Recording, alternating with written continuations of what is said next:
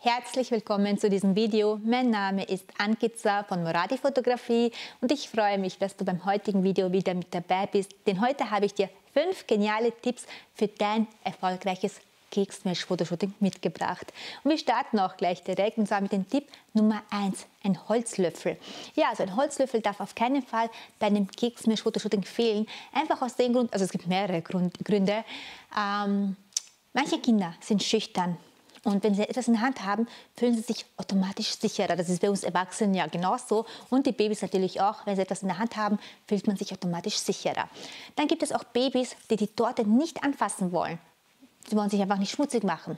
Und dann ist dieser Holzlöffel auch eine mega coole Lösung für dich. Und dann natürlich auch, wenn man das Fotoshooting etwas verlängern möchte, das heißt, wenn du noch mehr Fotos machen möchtest und das Baby einfach keine Lust mehr hat, die Torte zu matschen, dann kann man in diesem Moment auch noch einen Holzlöffel in die Hand drücken und das Kind, die meisten Kinder machen dann auch gleich wieder weiter. Also wie du siehst, ein Holzlöffel ist eine mega coole Sache für dein Keksmesh-Fotoshooting. Und ja, Punkt Nummer zwei, also rund um den ersten Geburtstag ist es so, dass Babys, Kinder Impfungen bekommen.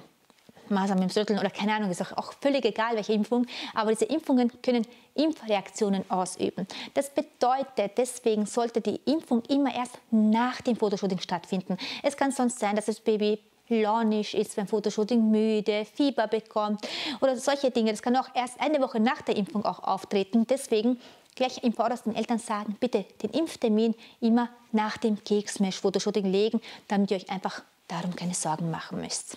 Dann Tipp Nummer 3.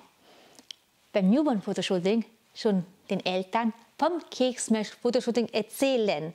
Das heißt, ihnen auch ein bisschen das Fotoshooting schmackhaft machen und auch ein paar Bilder herzeigen und erklären, wie das Keksmesh-Fotoshooting abläuft, eben dass es zum ersten Geburtstag stattfindet und so weiter. Und du kannst dann natürlich auch ein, zwei Monate vor dem Geburtstag, du hast das ja bei dir notiert, wann das Baby, also wann das Neugeborene Geburtstag hat.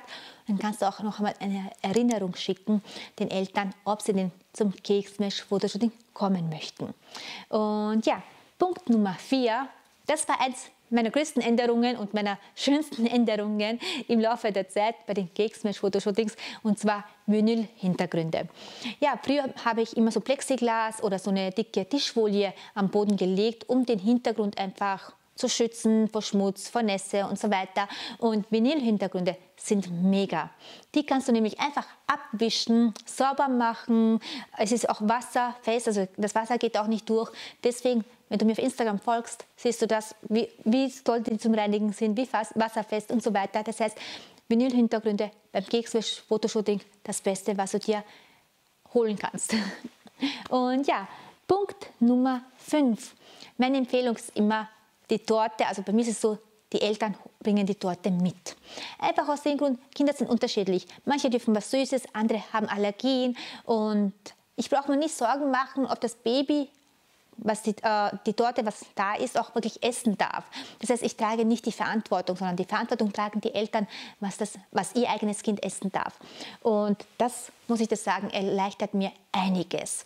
Deswegen ist es auch immer so, dass die Eltern sich einfach darum kümmern. Die Eltern wissen ganz genau, was das Baby essen darf und bringen auch dementsprechend eine passende Torte mit. Und ja, das sind die fünf Tipps heute. Da möchte ich aber dich auch noch darauf hinweisen, auf meinen Online-Workshop am 18. März für dein erfolgreiches Keksmesh-Fotoshooting. Dieser Online-Workshop ist live. Das heißt, da erzähle ich dir wirklich alle meine besten Tipps, besten Tricks der letzten zehn Jahre, seit ich die Keksmesh-Fotoshootings fotografiere und viele, viele hunderte Fotoshootings, also wirklich eine mega Erfahrung ist da drinnen. Was noch dabei ist, ist auch ein Live-Fotoshooting. Das heißt, du bist direkt dabei und schaust mir zu, wie ich ein Keksmesh-Fotoshooting inklusive Badeshooting durchführe. Und zum Schluss machen wir sich natürlich auch an die Bildbearbeitung. Da zeige ich dir auch mega coole Tipps, wie du rasend schnell Bilder bearbeiten kannst.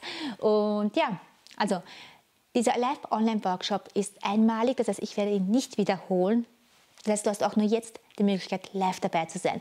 Wenn du dabei sein möchtest, in der Videobeschreibung ist der Link zur Buchung. Ich freue mich riesig auf diesen genialen Tag und ich freue mich auch, wenn du mit dabei bist. Und ja, schreib mir liebend gerne, wie dir die heutigen fünf Tipps gefallen haben.